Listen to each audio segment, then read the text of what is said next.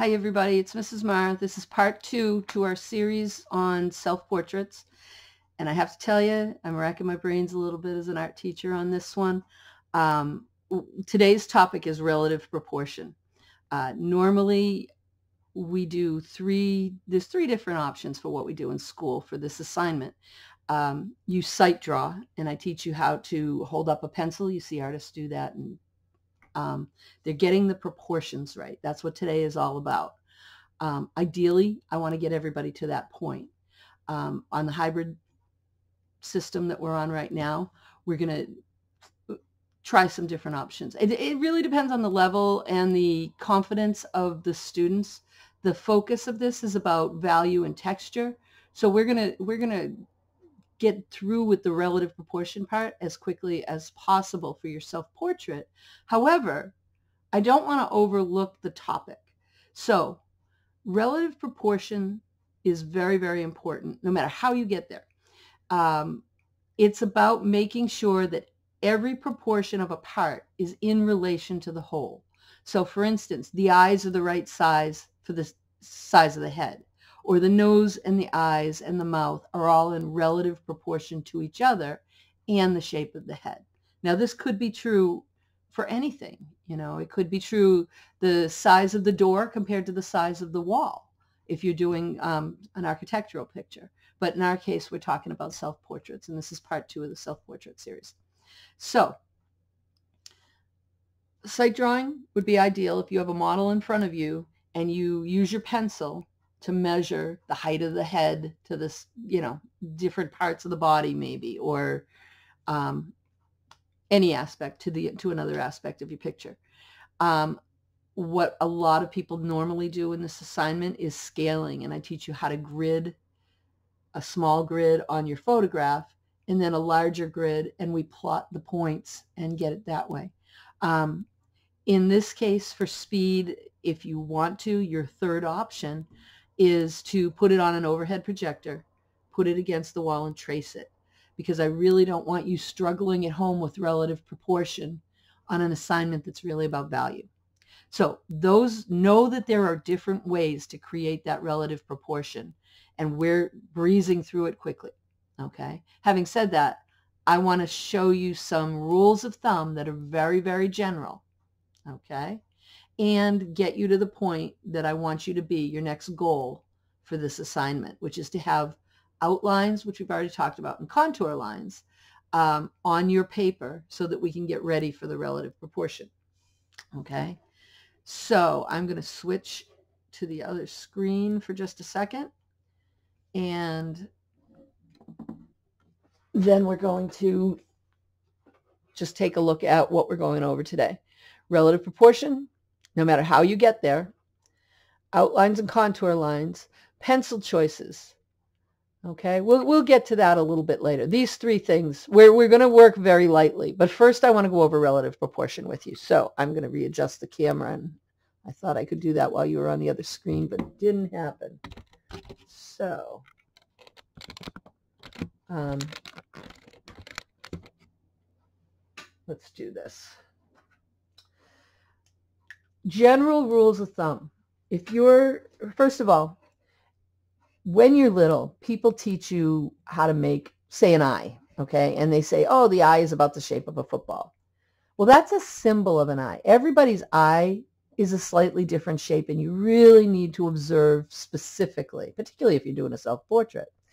Um, the other thing to think about is even a single person the eye changes if you're laughing or if you're crying or if you're sleeping.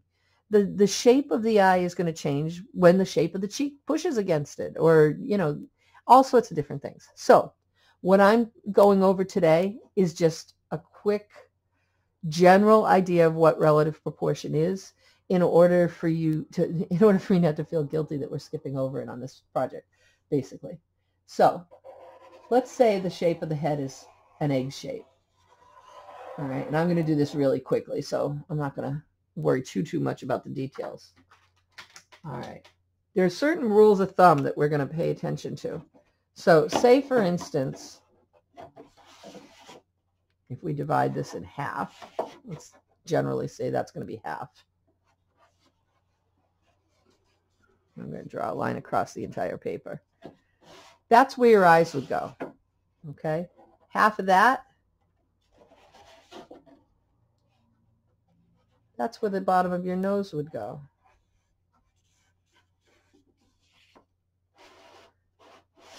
Half of that would be where the mouth would go. Now, again, I cannot stress enough, everybody's different.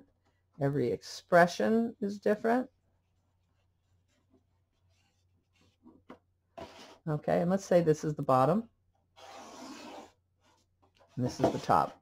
Now, I can't tell you how many people come in at the beginning of foundations and the eyeballs are somewhere up here because they're thinking, oh, well, it's the top feature on the face, so it must go at the top.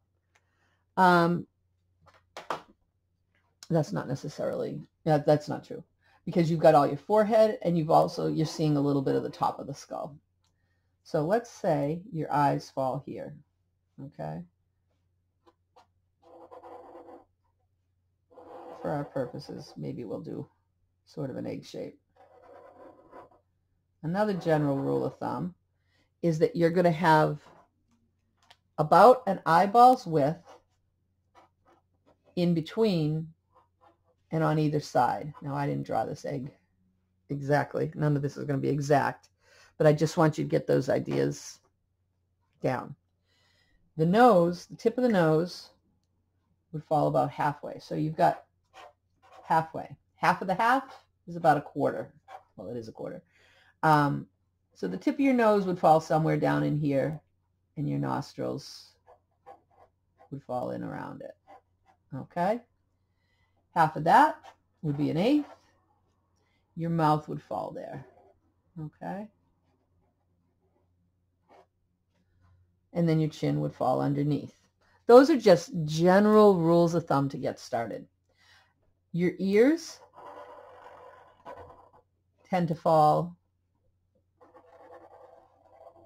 between the eye line and the nose line.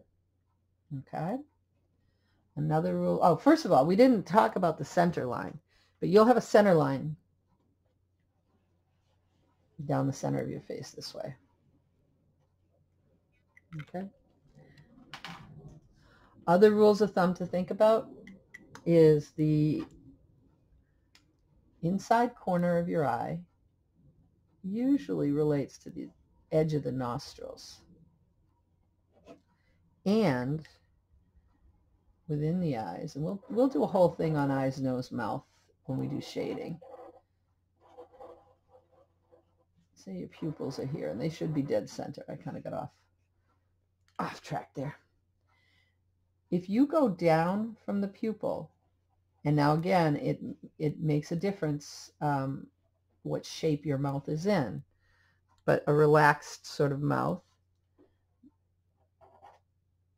might fall all the way out to under the pupil.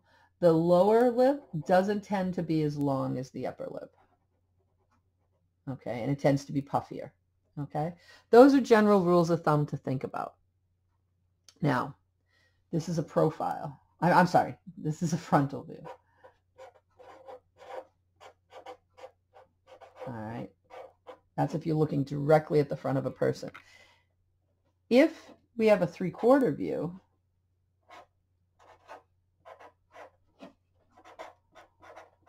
means the head is turned slightly.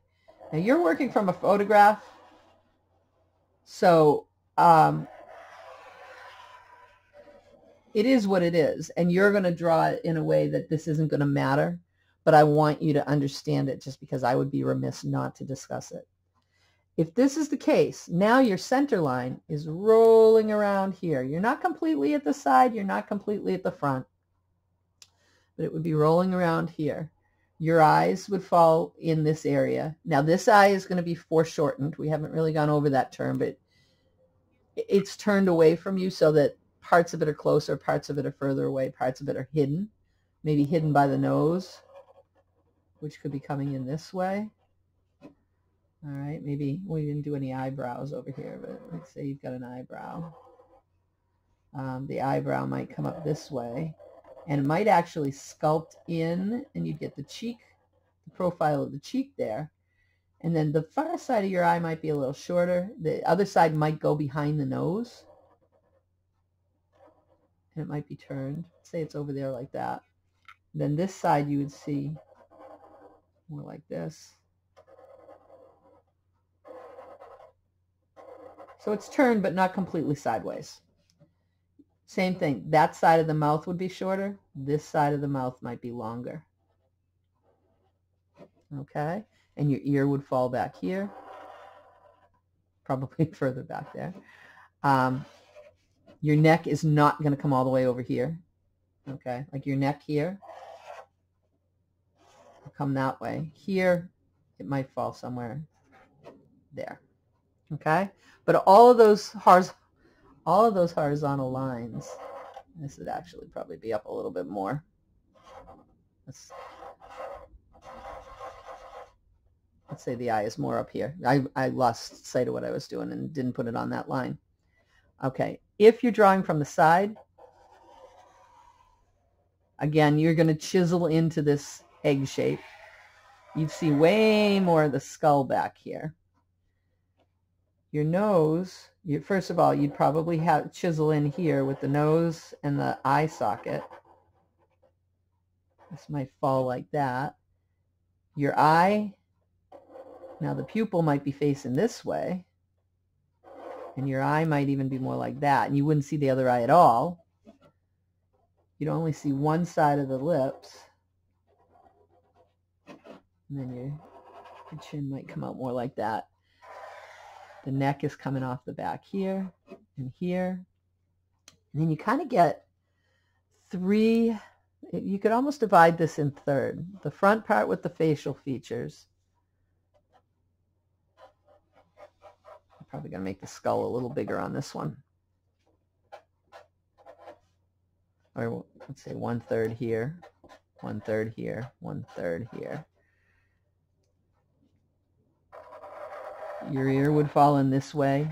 Your jaw would fall in that way, and this would relate to the skull back here.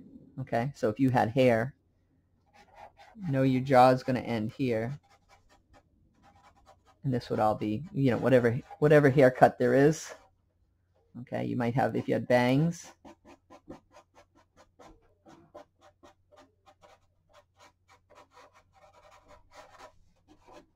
Okay. Probably shouldn't have done that. It covers up all the lines. But um, those are proportions that you want to know. Regardless of what we're doing in class, you should know that those things exist. Okay? Now, for what we're going to do, whether you sight draw, you scale, or you um, blow it up on the projector, you're only there two days a week. You're only there less than an hour, not including getting everything out and cleaning it up. So we're breezing through relative proportion and moving on. So what you need to end up with at the end of the week, no matter how you do it, you recognize this baby from the first one, first video, you want to get to the point where you've got all the lines lightly down on the paper, okay? Very, very lightly. The reason for that is there's a couple things I want you to be aware of. First of all, if you erase a line and then you go over it with charcoal, it could leave a mark. So if you erase a line in the cheek, I'm not going to do it on this one. Um, let me see if I have another piece of paper. Maybe I can quickly do this.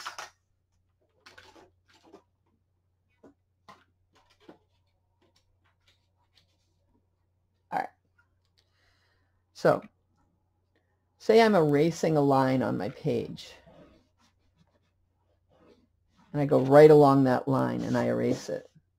And then later I'm doing charcoal. Say this is like a shadowy part of the cheek. You can't really see it when it's like this, but if you rub it, see that mark you're going to get? You're not going to want that in the middle of your cheek. So basically, it's emphasizing something you tried to erase in the first place. So we're going to avoid erasing. And there are kneaded erasers. I gave everyone a kneaded eraser. And there are these sort of vinyl erasers. Um, either way, you want to avoid erasing. The other thing you want to avoid is carving into the paper. Now, we talked about the difference between a 4H and a 2B and an ebony pencil.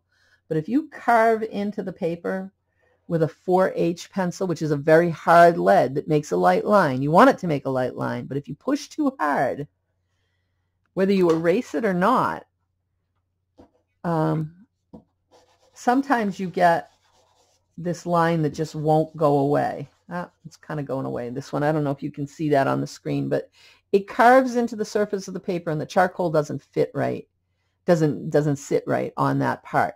So you want to work very, very lightly, no matter how you get those contour lines and pencil lines down on the page. And it's okay to put lines where you'd see a shadow, okay? You're not just doing the features. So for instance, if I have a deep shadow under the chin, I might put a very light, that's probably what that was. That's just marking a shadow. Okay, that's not an arm or anything like that. It's just where a shadow would go. Around the eyes, if there's a, an area there, but you want to do it light enough that you don't have to erase. The charcoal will just cover it, and you don't want to carve it into the paper um, because the charcoal will leave a funny mark there. Okay? So the goal, whether you sight draw, use the overhead projectors, or scale, is to get to this point. Next video, we're going to start talking about what the real point of this, which is values, shading, light sources, creating forms, creating texture. All righty. So everybody have a great week. And if you have any questions, you know where to find me. Have a good day.